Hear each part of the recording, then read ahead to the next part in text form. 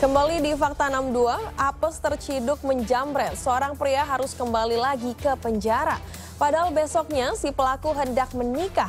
Alhasil sebelum ditahan, pelaku minta izin polisi untuk tunaikan ijab kabul lebih dulu. Nahas betul nasib Irfan, seorang jambret yang beraksi di Garut, Jawa Barat ini. Senin lalu aksinya gagal total. Kala menjamret seorang mahasiswa di kawasan Tarogong Kidul. Irfan dan temannya berhasil diringkus polisi setelah korban gerak cepat melapor. Kian malang lantaran Irfan si pelaku semestinya menunaikan pernikahan keesokan harinya. Namun apa daya, hukum adalah hukum. Irfan digiring ke balik jeruji besi. Atas dasar kemanusiaan, Irfan hanya dibolehkan izin tunaikan ijab kabul di KUA bersama sang istri lalu melewatkan malam pertamanya karena harus segera kembali lagi ke tahanan.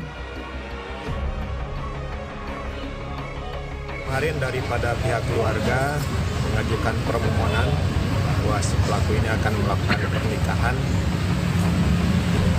Dasar tersebut kami mengizinkan tentunya dengan pengawalan yang ketat dan alhamdulillah sudah terlaksana pernikahan di KUA Kecamatan Garut Kota.